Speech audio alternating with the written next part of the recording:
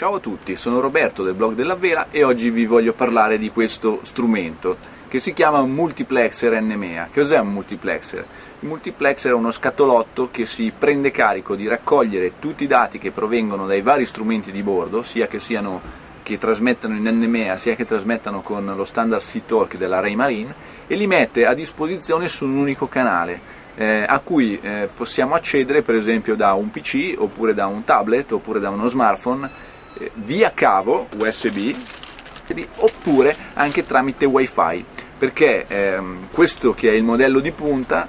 ehm, crea anche una rete wifi e quindi tutti i dispositivi che ho a bordo, dal PC al tablet allo smartphone, potranno collegarsi e leggere i dati degli strumenti di bordo via wifi. Quindi poi su uno di questi tablet o PC posso caricare un software, eh, Open, OpenCPN per esempio è uno di quelli che avevo già recensito sul blog della Vela ed è, l'innegabile vantaggio di essere gratuito, ma ce ne sono anche molti altri tipo Maxi per dirne uno dei più utilizzati che è a pagamento ma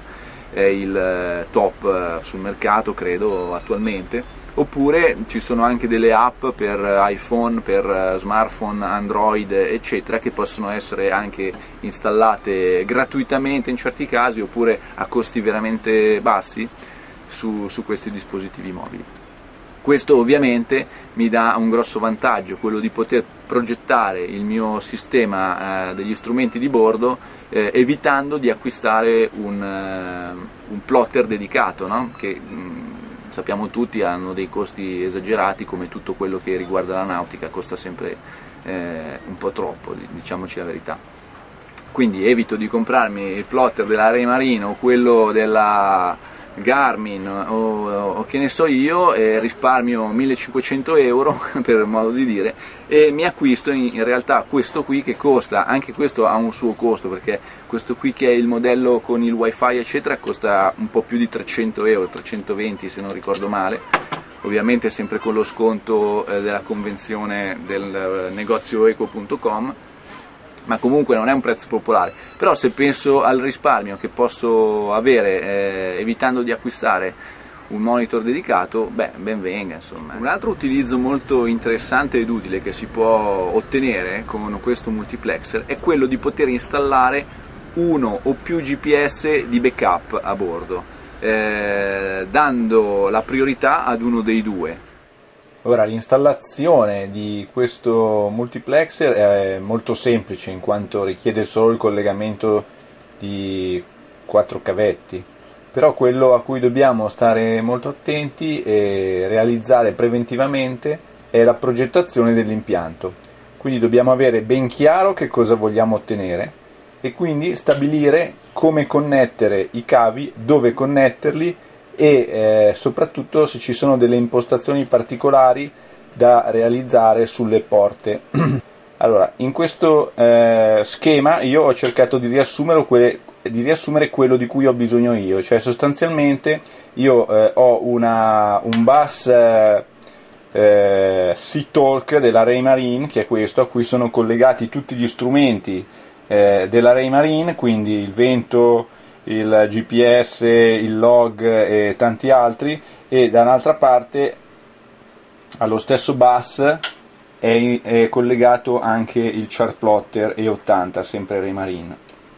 Quello che io voglio fare è, è prelevare i dati in formato NMEA dall'IS, dal VHF DSC ed eventualmente da un GPS di backup che qui ho chiamato GPS2 quindi questi eh, tre strumenti li collegherò alle porte input 1, input 2 e input 3 del mio eh, multiplexer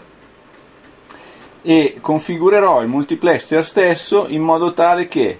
l'out 1 vada via sempre cavetto NMEA al pilota automatico sempre Raymarine che prende normalmente il suo input dal bus C-Talk ma in questo modo io posso anche eh, fare in modo di eh, pilotare il pilota stesso, scusate il bisticcio di parole, da un eventuale software di navigazione che dovessi utilizzare al posto del chart plotter. E eh,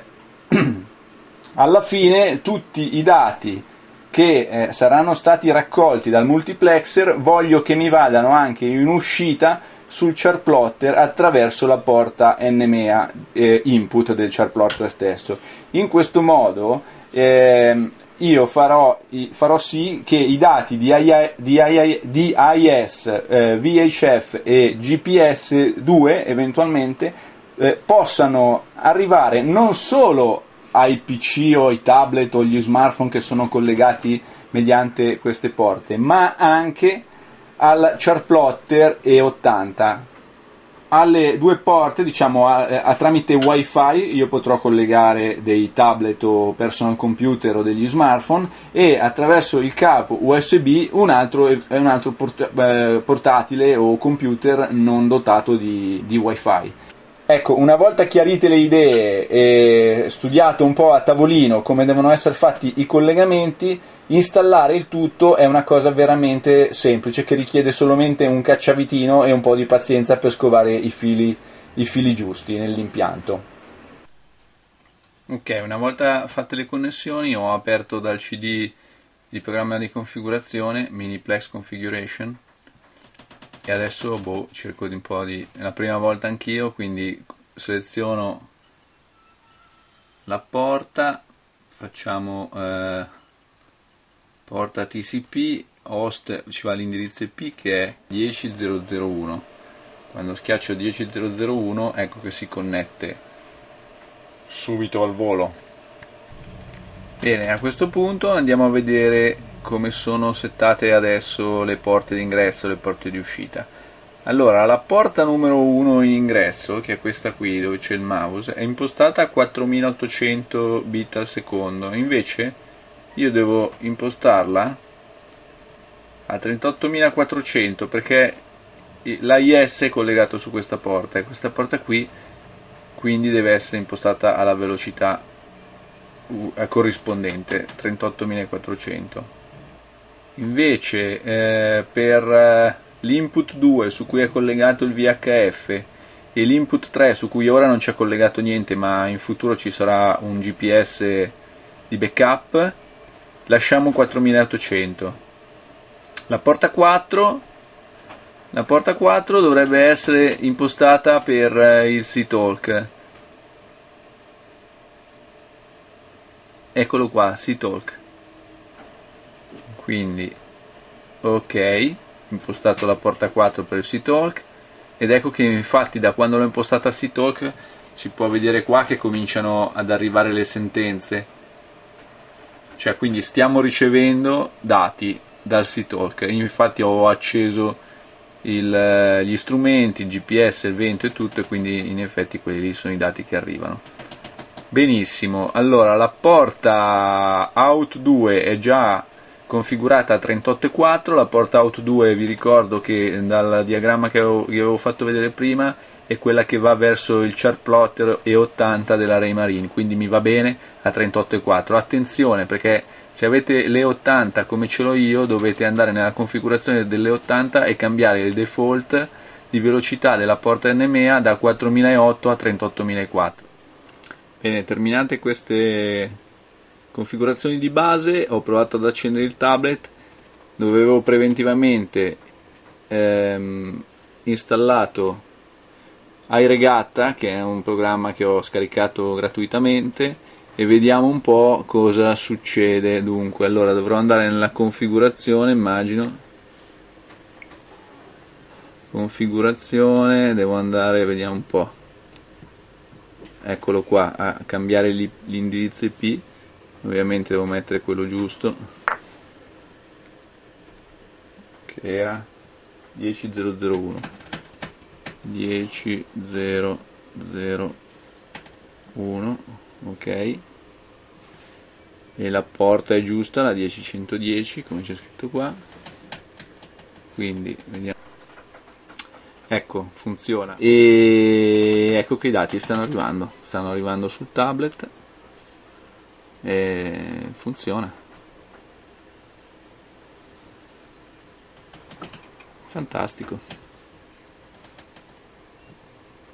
Beh vabbè sono fermo quindi l'unica cosa che può avere un senso è la velocità del vento 6 nodi. Ora invece proviamo con Open, OpenCPN che è un software gratuito open source. Provo ad andare a, nelle impostazioni connection add connection. Ecco posso scegliere tra serial e network. Serial eh, ovviamente se ho un cavo se ho il multiplexer connesso al pc tramite cavo usb mentre invece a me interessa andare senza fili quindi scelgo network. Qua posso impostare il protocollo TCP o UDP scegliamo UDP che è meglio metto l'indirizzo che è il mio solito 10.0.0.1 la porta mi ha già messo la 10110 che è quella standard dell'NMEA i dati stanno arrivando possiamo anche vedere.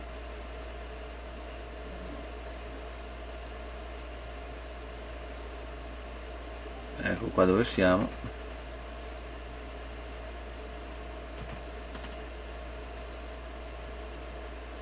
come vedete prende anche i dati della IS queste due sono due barche che sono qua nel porto.